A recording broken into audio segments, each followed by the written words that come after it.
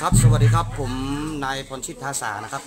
อ่าเป็นผู้ใหญ่บ้านหมู่ที่สองนะครับพร้อมด้วยกับอ่านายพิรสิทธิ์ใจกว้างนะครับ ผู้ใหญ่บ้านหมู่ที่สามตำบลพระพระพระนะครับจังหวัดตากนะครับก็ก็ตอนนี้ก็มีพี่น้องชาวบ้านนะครับมาร่วมกันอ่าช่วยงานบุญกระถินนะครับสามัคคีนะครับ ซึ่งจะมีการแห่ในวันที่ 26ตุลาคมนี้นะครับ แล้วก็จะมีการ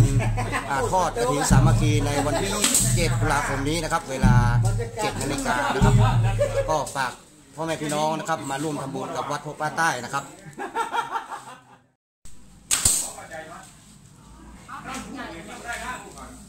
ครับสัมภาษณ์ยาติ๊บนั่นแหละชวนๆนั่นแหละสัมผัสเห็ดทิพย์กินตะกลุ่มตะล่องนะจ๊ะ เอาปะติ๊บเนี่ยวันนี้ปะติ๊บปะติ๊บทำอะไรเอ่ยวันนี้แล้วนี่ทเตรียมอะไรเขาเรียกเตรียมอะไรเตรียมงานนะำเตรียมงานทำก็ลองทำหางลุงอ๋อหางนกยุง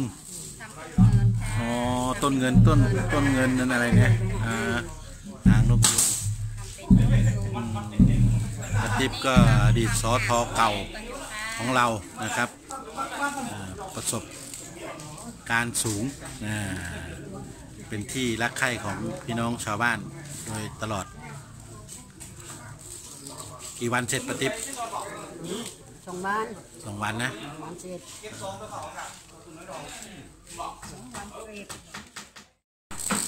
จ้าของแล้วแล้วนี่หนูกระดาษเขาเรียกเขาเรียกกระดาษอะไรเขาเรียกกระดาษอะไรกระดาษทองกระดาษทองกระดาษทองค่ะ อ่า ทำแบบนี้ อ๋อทำเป็นรูปใบโพ โอ้หาง นะ ลุง เขาเรียกหางนกยุงนะ เอาไว้ประดับเอ่อต้นกระถินเนาะองค์กระถินของเราอะนะอืมทุกปีทำแบบนี้นะ ทุกปีค่ะทำทุกปีปีค่ะนะแต่ปีนี้ไม่มีเจ้าภาพค่ะอ๋อมีเจ้าภาพเขาเรียกว่ากระถินสามัคคีเจ้าภาพร่วมกัน คือทำทำคนเดียวก็ได้คนเดียวทำหลาย ๆ คนก็ได้บุญหลาย ๆ คนนะค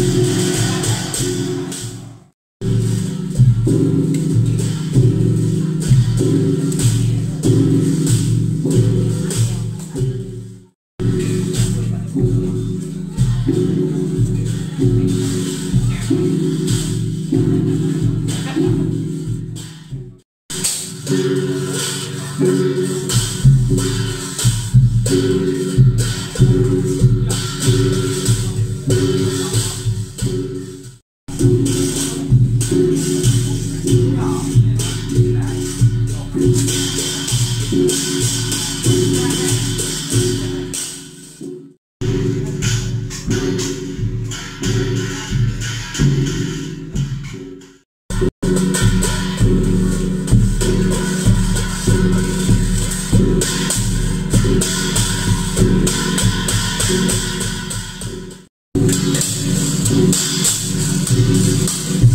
you.